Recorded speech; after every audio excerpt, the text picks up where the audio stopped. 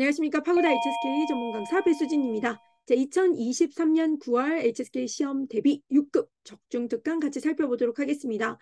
네, 우선은 여러분들 우리 8월부터 한번 알아볼게요. 8월은 역시 듣기 중, 독해 중 이렇게 나와 있는데 이제 듣기는 속도가 길어 속도가 빠르고 그다음에 이제 A, B, C, D 보기가 계속 길어지고 있습니다. 그래서 저는 여러분들이 이거를 딱 보기를 볼 때 진짜 중요한 거는 그 포인트 되는 그 단어를 바로 캐치하는 게 중요하잖아요. 그럼 평상시에 여러분들이 문제를 그냥 무조건 많이 풀어본다 이게 아니라 과연 이 단어가 어떤 단어가 진짜 중요한지 그 포인트 되는 단어를 볼 수 있는 능력을 길러내셔야 돼요. 그러려면 제대로 읽고 제대로 어디에서 어디에서 살짝 끊어 읽고 어, 그런 부분을 네, 공부하셔야 됩니다. 아셨죠? 그래 그리고 또 하나는 역시나 동의 표현 듣기는 이제 그대로 나오잖아요. 어, 동의 표현 그리고 또 그 단어 뒤에서 바로 답이 나오는 경우가 있어요. 그러니까 답이 나오는 포인트를 무조건 내 입이 그냥 너무 자연스럽게 툭 튀어나오게끔. 그래서 내 귀가 그냥 자연스럽게 그 단어만 딱 들으면 어, 뭐야 집중. 어 이게 다 연결되어 있잖아요. 그러니까 그런 공부를 이제 하셔야 됩니다. 아셨죠? 이제 그냥 들리는 대로 그냥 어, 답이다. 찍고 찍고 찍고 이건 아니라는 거죠. 이걸 명심하셨으면 좋겠고 독해는 우리가 전략가가 돼야 됩니다. 아무리 단어를 미친 외운다. 그래도 그 그 긴 문장에 어떤 게 틀린 문장인지 알고 그죠? 그다음에 어떤 게 이 단어 이 단어가 짝꿍어이를 다 무조건 외운다는 건 솔직히 불가능합니다. 다만 네 여러분들이 공부를 하실 때 정말 전략적으로 아 이런 이런 이런 이런 잘 나오는 유형별 어 공략 비법대로 공부를 하시고 그거대로 네, 복습도 해주시고 네, 오답 노트도 정리하시고 하시는 분들이 확실히 점수를 잘 받으신 것 같습니다. 그래서 그런 부분 다시 한번 마지막 정리할 때도 꼭 기억하셨으면 좋겠습니다. 자 그러면 오늘 역시 듣기 동의 표현 그리고 독해는 일부분 출제 포인트 같이 살펴보도록 하겠습니다. 자 여러분들 제가 그대로 나오지 않는다고 얘기했었죠. 그죠? 네 여기 이렇게 보시면 工作中要追求上进 이래요. 자, 이래서 뭐 해야 된대요? 要追求上进. 이게 上进 하면 위로 올라가는 거죠. 진취적이다 뜻입니다. 진취적인 것을 추구해야 된대요. 근데 이게 그대로 나오는 게 아니라 在工作中我们要多学习点技能不断突破自我不断突破自我 끊임없이 어, 뭐 해야 된다?突破, 돌파해야 된다. 뚫어야 된다 내 스스로를. 그러니까 내 스스로를 계속 어 계속 내가 해봐야지 돌파해봐야지. 나를 한번 내 한계를 넘어봐야지. 이렇게 해야 된다. 어 이렇게 나온다니까 여러분들. 부도한 토포스와, 부도한 토포스와. 어 이게 결국은 주이치오 샹진. 이런 의미로 쓰였다. 좋습니다. 자그 다음에 시엔. 이 시엔이 뭐 싸라기 눈 이런 거 필요 없어요. 어쨌든 얘가 부슈이 슈자 그럼 요 단어가 보기 나왔다. 부슈이 어 몸에서 속하지 않다. 이거 오케이. 우리가 이 단어가 나왔으면 지금 이 부분 잘 들었겠다. 그랬더니 진짜로 빙부슈이 쉐더 판처라고 나왔어요. 뭐에 속하지 않는다? 눈의 범주에 들어가지 않는다고 나오죠. 어, 시안부슈이 쉐, 부슈, 부슈, 부슈, 부슈 이렇게 나오죠. 그래서 부슈이 쉐더 판처, 아, 쉐더 판처. 범죄에 속하지 않는다. 음, 이런 표현들. 그 다음에 那本书是关于旅行的 이래요. 어, 그 책은 여행 관한 거야. 근데 어, 나는 여행, 아, 여행 이것만 듣는다? No, 이제는 자, 这是一本可以带游历世界的书 이래요. 이것은 한 권의 요리世界, 요리 世界. 그러면 세계를 두루두루 다니는 어, 내 나를 어, 이 세계를 두루두루 다닐 수 있게 해주는 어, 그런 책이다. 요리 시제, 요리 시제 이렇게 읽지 않잖아요. 요리, 요리 시제. 음, 이게 결국은 어, 세상을 두루두루 다닌다. 이게 그렇구나. 그다음 旅行能开阔人的视野. 여행은 뭘 넓혀준대요? 사람의 시야를. 그래서 여기 보면 经常出去走走看看外面的世界对年轻人的成长是非常关键的. 자, 자주 돌아다니고 봐라. 외부의 세상을. 바깥의 세상을 봐야 된대요. 그래서 젊은이의 성장이 매우 중요하다. 이랬어요. 자, 그런데 여기서 经常出去走走看看外面的世界看看外面的世界 어, 계속 세상을 봐라. 그거는 결국은 솔직히 말해서 리싱이라는 말이 안 나와요 정말로. 근데도 결국은 이거는 밖에 봐야 되니 이건 결국 이 밖에 돌아다니는 거는 결국 여행이라는 표현했고 그렇게 봐야지만 성장이 중요하다 하고 끝나요. 그래서 가장 일치한 게 답은 예 이렇게 가야 돼요. 오케이? 자그 다음에 이츠 땅 다오엔 예, 이래요. 첫 번째 이게 진짜 이 문제 진짜 많이 틀려요 학생님들이. 당연히 틀 수밖에 없죠. 맞죠, 여러분들? 당연히 틀릴 수밖에 없습니다. 어, 무조건 무조건 틀려. 뭐 이렇게라고 제가 지금 말하긴 되게 되게 되게 그렇지만 사실은 여러분들이 이 단어를 정확하게 모르면 역시 틀리게 돼 있어요. 네. 그죠? 오케이. 자, 그러면 이 단어는 뭐냐? 어, 우리가 이렇게 딱 봤었을 때 한번 볼게요. 这部电影是您的处女作 이래요. 중이조가 무슨 뜻이에요? 처녀자. 근데 이 단어 여러분들 공부 안 하시면 음, 틀립니다. 당연히 틀리게 될 수밖에 없어요. 네, 진짜예요. 그래서 여러분들이 이런 것들을 꼭 잘 체크하셔서 아 처녀자. 这部电影是您的第一部 혹은 第一次 뭐 이런 게 나오지 않는다. 중이조 이렇게 나와요. 초반에 딱 그리고 나서 뒤에서 第一次当导演 음. 그래서 이런 처녀작 이런 표현들도 여러분들이 외우셨으면 좋겠습니다. 네. 그리고 듣기는 제가 오늘 이거 딱 한 개는 그 전, 제발 그 전, 네, 계속 그 전 적중 특강을 꼭 봐주세요. 그러면 네, 제가 겹치는 거 없거든요, 여러분들. 진짜로. 그러면 계속 그 동의 표현들을 쫙 시리즈처럼 지금 하고 있으니까 꼭, 꼭 제발 제 소원입니다.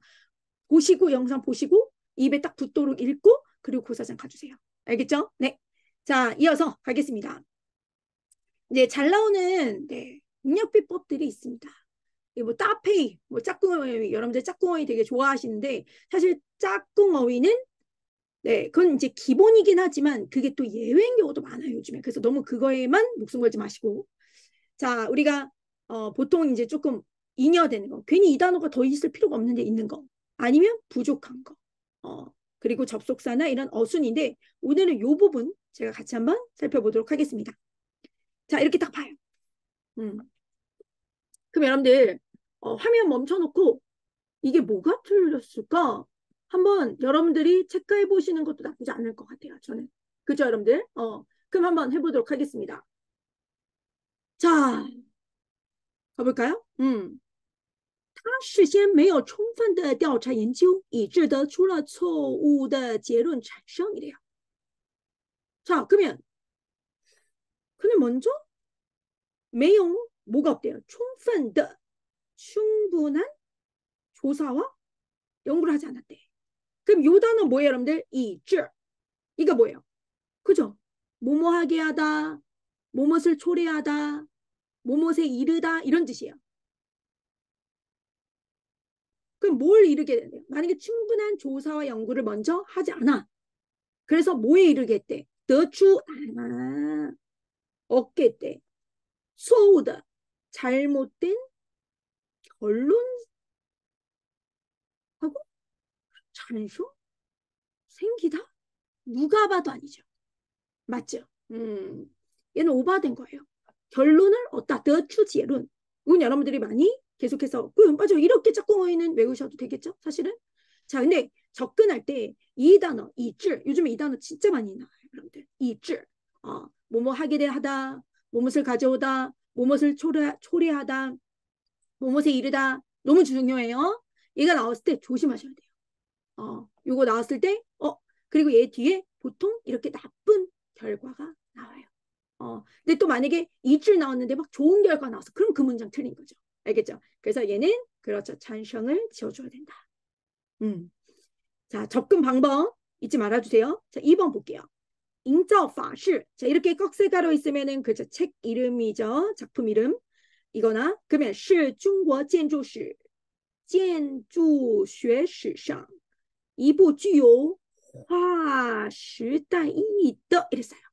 근데 우리가 시험이 역시 뭐, 네, 6급 아니어도, 바, 뭐, 받자문, 베이, 자문, 그 다음에, 어, 连动句, 연동문, 见于, 겸어문, 그 다음에 시, 시자문, 시더, 강조구문, 이런 건 너무나 여러분들이 많이 접해 보셨을 거예요. 그럼 우선 시가 있다는 걸 잘 체크하셔야 돼요. 그럼 얘는 중국 건축학 어, 중 건축학 역사상 한 편의 시대를 어, 긋는 그러니까 아주 획기적인 어, 이렇게 우리가 해석할 수 있겠죠. 자, 그러면 오케이, 좋아요. 여기서 그러면 딱 봤었을 때 자, 봅시다. 획기적인 의미의 끝 아니죠. 사실 얘는 책이겠죠. 음, 얘가 몸은 이다 하고 얘네가 지금 사실은 다 꾸며줘야죠. 이러한 것을 갖고 있는 그렇죠. 책이다, 저서이다. 주술 목 구조에서 지금 목적어가 빠져 있는 거죠. 이해하셨습니까, 여러분들? 목적어가 분명하게 나와 있잖아요. 그러니까 얘뭐 저명한 작품이겠죠. 그래서 주조 이렇게 써주면 좋겠죠. 물론 네, 시험에선 쓸 필요 없고 그냥 틀린 것만 체크하시면 되죠. 오케이. 마지막 보겠습니다. 어, 너무 재밌죠, 여러분들? 이 문제도 저는 뭐로 접근했냐면 사실 저는 이런 게 보여요. 요거. 뭐 이게 만약에 어 그리고 찌우 우선 접속사가 우리가 되게 익숙하잖아요. 어쩔 수 없이 많이 접했기 때문에 그래서 이런 것들을 조금 보셔야 되고 그리고 반시 하면 모든 일이란 뜻이죠. 그럼 모든 일은 어, 자 어떠다 만약에 예를 들어 부원 칭홍 자오바이라고 했습니다. 얘가 이렇게 음, 옳고 그름을 묻지 않다 이런 뜻이에요. 부원 칭홍 자이바이 아니 자오바이 네 너무 이렇게 바이에 너무 집중했어요. 부원 칭홍 자오바이 자 그러면 옳고 그름 자 이렇게 뭐 옳고 그름을 묻지 않다 이 뜻이에요. 만약에 그렇다고 그렇다고 해서 어, 就把自己的愤怒发泄到他人身上 뭐를 어떤 걸? 자신의 바자문이었죠. 분노, 분노를 파시에 뭐한다면 파시에 호출하다, 분출하다. 누구에게? 타인에게, 상대방에게. 음. 자, 그러면 만약 모든 일에 옳고 그름을 묻지 않고 자신의 바로 자신의 분노를 타인에게 다른 사람에게 표출하면 很可能就对方造成伤害 이랬어요. 很可能 아마 就对方 상대방은 조성한대요. 상해를. 근데 얼핏 보면 오, 오 이건 느낌적인 느낌으로 해석하면 이렇게 돼요. 근데 그게 아니잖아요, 지금. 모든 어, 만약에 옳고 그름을 막 묻지 않고 그냥 자신의 분노를 자, 다른 사람에게 분출하게 된다면 이미 여기 다 했죠. 어, 그렇게 된다면 흔커능 아마도 찌우. 음, 여기서 얘 찌우. 얘도 잘 봐야겠다. 그러면 흔커능 아마도 찌우. 바로 또 이방 상대방이 아니라 상대방에게죠. 이해하셨습니까, 여러분들? 내 옳고 그름 따지지 않고 내 분노를 자신의 분노라고 얘기했잖아요. 그럼 자신의 분노를 그렇지 표출 다 했어. 그러면 아마 상대방이 상처를 입을 것이다. 그럼 뭐가 빠져 있는 거예요? 여기서는 상대방이가 아니라 상대방에게겠죠, 사실은. 맞죠, 여러분들? 그러니까 얘는 그렇죠. 이 또이팡 앞에 들어가야겠죠. 상대방에게 쉽게 해를 입히게 된다. 이때 해야겠죠. 요런 게 어려운 거죠. 접근을 물론 접속사로 했어요. 근데 그냥 어, 우리가 제대로 읽지 않으면 막 헷갈리고 꼬여요. 그래서 우선은 포인트가 이 받자문이 있었기 때문에 한번 요 부분을 해석 잘하기. 어, 요 부분 누가 해를 끼쳤는지. 음. 근데 여기서는 자신의 분노를 다른 사람에게 다 표출한다면 이래버렸기 때문에 그럼 상처를 입은 사람은 상대방인 거잖아요. 내가 아니니까. 음, 그래서 여기서 게이가 들어가야 된다. 그리고 이 문장은 틀렸다. 이거를 기억하셨으면 좋겠습니다. 네, 요거 요런 문제가 어렵습니다. 하지만 여러분들이 이런 예, 접근법 어떻게 요즘 시험에 잘 나오는 이 공략법이 딱 따로 있어요. 그래서 그 문제 위주로 좀 많이 정리를 해주세요. 알겠죠? 네. 자, 여러분들, 네. 어려운 시험이지만 여러분들 그동안 또 공부 열심히 하셨잖아요. 그래서 네, 실력 발휘 잘한다. 잘하고 오자. 라고 생각하시면서 시험 보셨으면 좋겠고 꼭 한번 정리 제대로 하신 다음에 고사장 가셔, 가셔야 됩니다. 우리 한 번에 꼭 붙읍시다. 네. 오케이. 저는 지금까지 배수진 강사였습니다.